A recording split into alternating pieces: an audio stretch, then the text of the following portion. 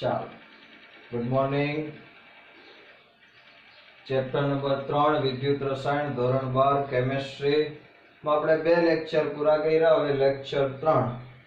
બીજા લેક્ચરમાં આપણે વિદ્યુત રાસાયણિક કોષમાં ગેલ્વેનિક કોષ હતા બે બાજુ બે પાત્ર હતા. એકમાં આ બાજુ ઝીંકનો ધ્રુવ હતો, આ બાજુ કોપરનો ધ્રુવ હતો, અને અહીંયા વચ્ચે ક્ષાર સેતુ મૂક્યું હતું. એટલે આપણને અહીંયા વિદ્યુત પ્રવાહ મળતો હતો. તો હવે આ પાઠને આગળ સમજવા માટે થોડીક નાની નાની બાબતો છે જે ટેક્સ્ટબુકમાં ક્લિયરિફિકેશન નથી કર્યું. આપણે બરોબર સમજી લઈએ એટલે આગળ પાઠ સમજવામાં આપણે જરાય તકલીફ ન પડે. તો પહેલા વાત કરું અર્ધકોષ એટલે શું? તેનું સાંકેતિક નિરૂપણ. કેમ કરાય એ સમજવાનું. તો ભાઈ આ રેનિયલ કોષ હતો, એમાં આપણે આ એક બાજુનું એક પાત્ર હતું ને એમાં એક ધ્રુવ ડુબાડ્યું હતું. આ બીજી બાજુનું પાત્ર હતું, એમાં કંઈક દ્રાવણ ભર્યું હતું ને એમાં ધ્રુવ. તો આ આખો કોષ છે, આમાં અડધો કોષ એટલે એક પાત્ર ને એમાં ડુબાડેલો સળિયો. આટલું ભેગું થાય એટલે એને શું કહેવાય? અર્ધકોષ તો અર્ધકોષની વ્યવસ્થિત વ્યાખ્યા લખીએ. તો અર્ધકોષ એટલે શું? તો કે વિદ્યુત ધ્રુવ. અને તેને જે દ્રાવણમાં ડુબાડેલો હોય, તેને સંયુક્તપણે અર્ધકોષ કહે છે. એટલે વિદ્યુત ધ્રુવ એટલે એક સળિયો. આ વિદ્યુત ધ્રુવ કહેવાય. અને એને જે દ્રાવણમાં ડુબાડ્યો છે, એ આટલાને કહેવાય એક અર્ધ કોષ. તો વિદ્યુત ધ્રુવ અને તેને જે દ્રાવણમાં ડૂબાડેલો હોય, તેને સંયુક્તપણે શું કહેવાય? અર્ધ કોષ. હવે આપણે સમજવું અર્ધ કોષનું સાંકેતિક નિરૂપણ કેવી રીતે સાંકેતિક નિરૂપણ કરાય? સમજજો. દાખલા તરીકે કોઈ ધાતુ ધ્રુવ છે, ધાતુના સક્રિય ધ્રુવ. તેનું સાંકેતિક નિરૂપણ કરવા માટે આપણે પહેલા એ લખવું પડશે ધાતુની સંજ્ઞા.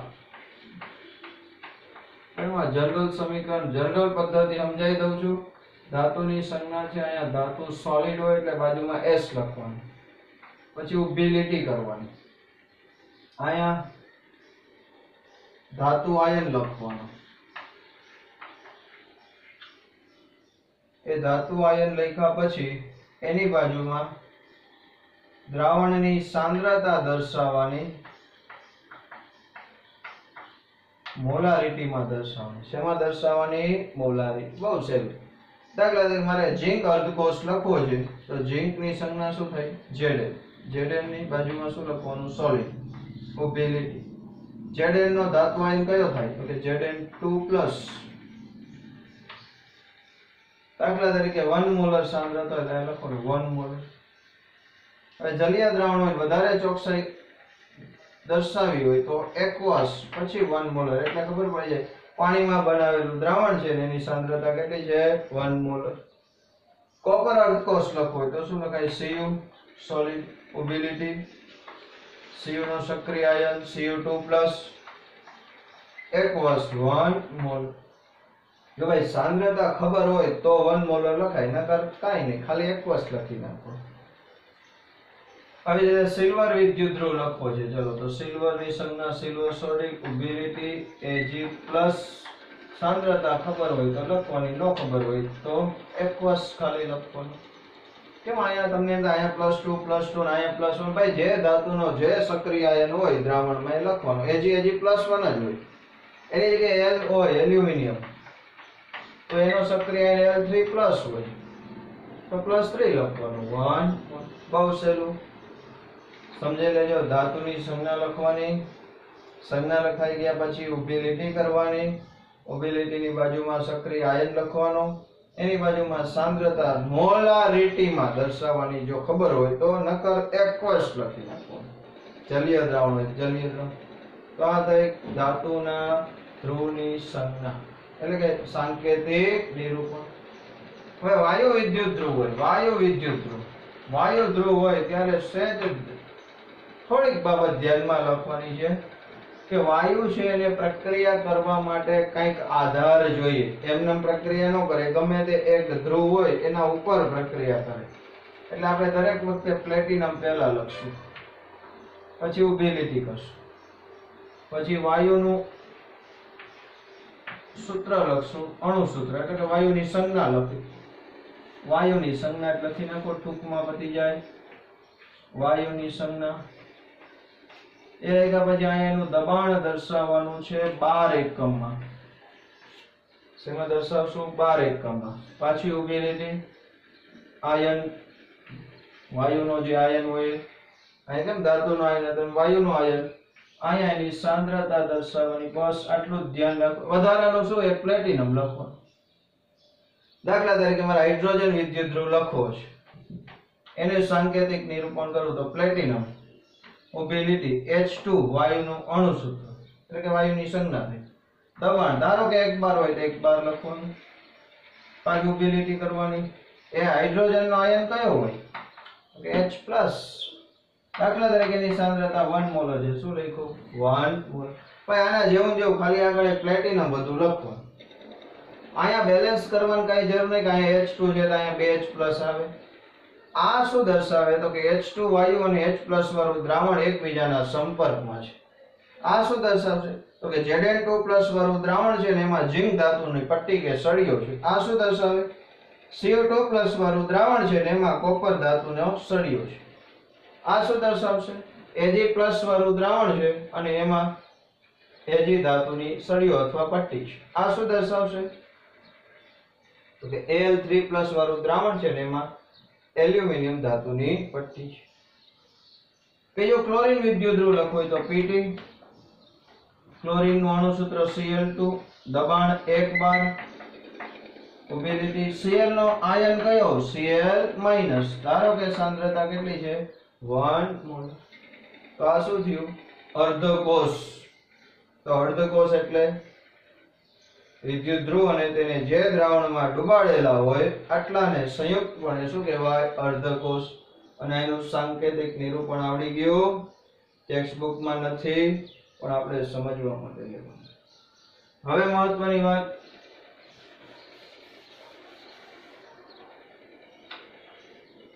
કે અર્ધકોષ ને પ્રમાણિત અર્ધકોષ ક્યારે કહેવાય? તો કે જો જે અર્ધકોષમાં રહેલા વિદ્યુત વિભાજ્યના દ્રાવણની સાંદ્રતા એક મોલર હોય. જો વાયુ હોય તો તેનું તાપમાન સોરી તેનું દબાણ એક બાર હોય. તથા અર્ધકોષનું તાપમાન બસો અઠ્ઠાણું કેલ્વિન હોય. તો તેને પ્રમાણિત અર્ધકોષ કહે છે. કોને પ્રમાણિત અર્ધકોષ કહેવાય? આ ખાસ યાદ રાખવાનું છે. કે આવો અર્ધકોષ હોય, કે જેમાં એક પાત્ર હોય, એમાં દ્રાવણ ભર્યું હોય ને એમાં ધ્રુવ ડૂબાડેલું. તો એ પાત્રમાં જે દ્રાવણ ભર્યું એની સાંદ્રતા વન મોલર હોવી જોઈએ. જો વાયુ કદાચ હોય, કેમ અહીંયા વાયુ સંકળાયેલા છે? જો વાયુ હોય તો વાયુનું દબાણ એક બાર હોવું જોઈએ.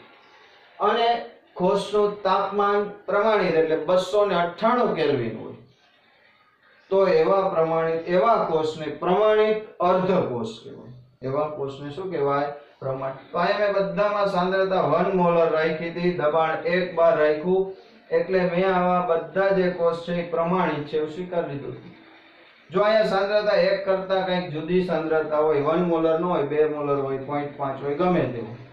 જો એ વન મોલર સિવાયની હોય તો એને બિન પ્રમાણિત કોષ જે પ્રમાણિત નથી, એને કેવો ગણાય? બિન પ્રમાણિત અર્ધકોષ. તો આટલું સમજાય છે, એકવાર સ્ક્રીનશોટ લઈ લેજો. આ રીતના ટેક્સ્ટ બુકમાં લખેલું મળશે નહીં. પણ આપણે નોટમાં લખી લેજો. છેલ્લે સુધી બહુ કામ આવશે, નીટમાં પણ અગત્યનું છે. એટલે વ્યવસ્થિત સ્ક્રીનશોટ લઈ પાકી બુકમાં વ્યવસ્થિત લખી લેજો.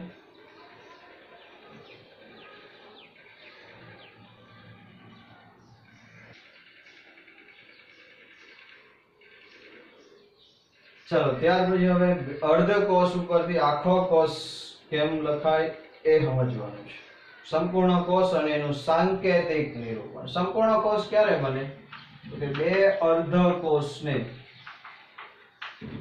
જોડતા સંપૂર્ણ કોષ બને છે. શું કરવાનું છે? બે અર્ધ કોષને જોડી દેવાના છે. પણ ધ્યાન એટલું રાખવાનું કે બે અર્ધ કોષ હોય જો એમાં વચ્ચે ક્ષાર સેતુ હોય, તો બે ઊભા લીટા કરવાના અને ક્ષાર સેતુ ન હોય,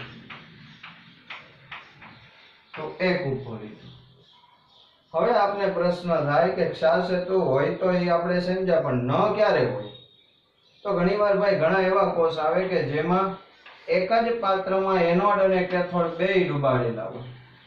એક જ પાત્ર હોય, એમાં એનોડ અને કેથોડ બે રહેલા હોય, તો એમાં ક્ષાર સેતુની જરૂર પડતી નથી. એવા વખતે ક્ષાર સેતુ ન હોય.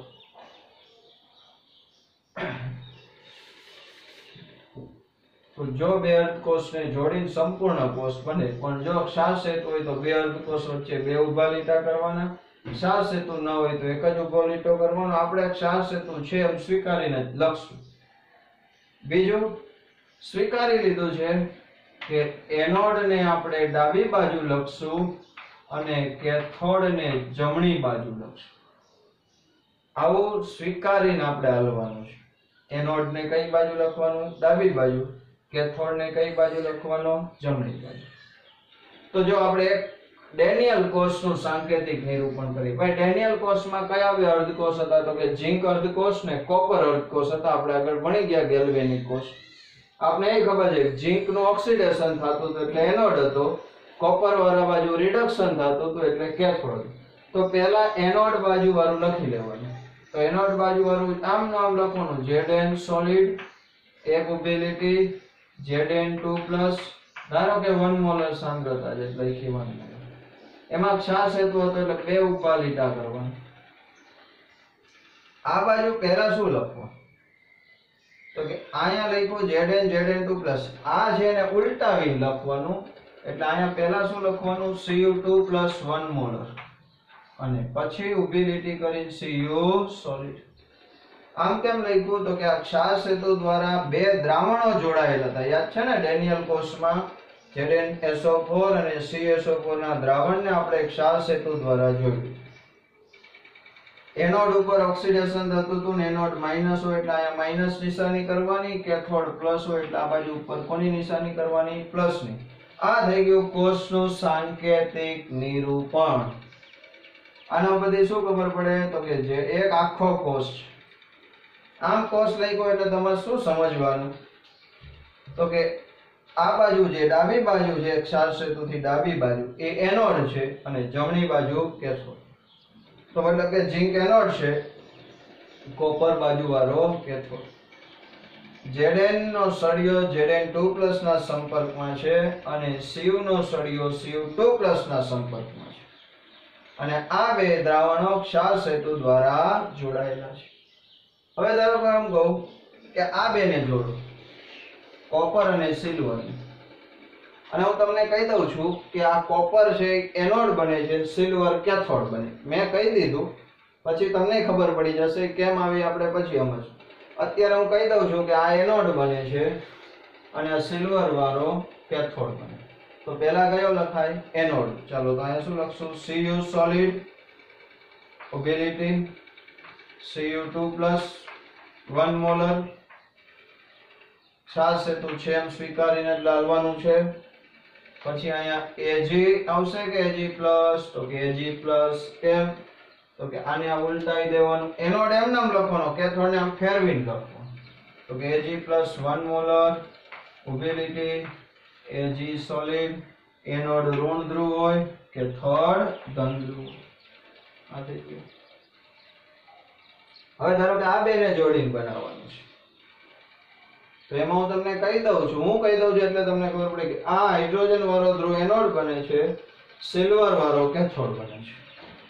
તો પેલા હાઇડ્રોજન લખવાનો તો આ આખે આખું લખવાનું પીટી એચ ટુ એક બાર એચ પ્લસ વન મોલર ચાર સેતુ, અને આમને આમ AG plus one molar AG sorry આ કેથોડ એટલે પ્લસ એનોડ એટલે માઇનસ તો સમજાઈ જાય રીતે કોષનું સાંકેતિક નિરૂપણ. હવે જોઈ લેવાનું, બે બાજુના અર્ધ અર્ધકોષ છે. એ બે પ્રમાણિત હોય તો આખો કોષ શું કહેવાય? પ્રમાણિત કોષ. પ્રમાણિત કોષ એટલે કે જેમાં તાપમાન, આખા કોષનું તાપમાન કેટલું હોવું જોઈએ? બસો અઠ્ઠાણું દ્રાવણોની સાંદ્રતા કેટલી હોવી જોઈએ? One molar. અને વાયુનું દબાણ પી કેટલું હોવું જોઈએ? એક બાર. તો જે કોષમાં તાપમાન બસો અઠ્ઠાણું કેલ્વિન હોય, દ્રાવણની સાંદ્રતા વન મોલર હોય અને વાયુ હોય તો એનું દબાણ એક બાર હોય. એવા કોષ, એવા આખા કોષને શું કહેવાય? પ્રમાણિત કોષ. શું કહેવાય? પ્રમાણિત કોષ. સમજાય છે આટલું? બરોબર સમજો સાંકેતિક નિરૂપણ બરોબર જોજો. એકવાર સ્ક્રીનશોટ લઈ લેજો.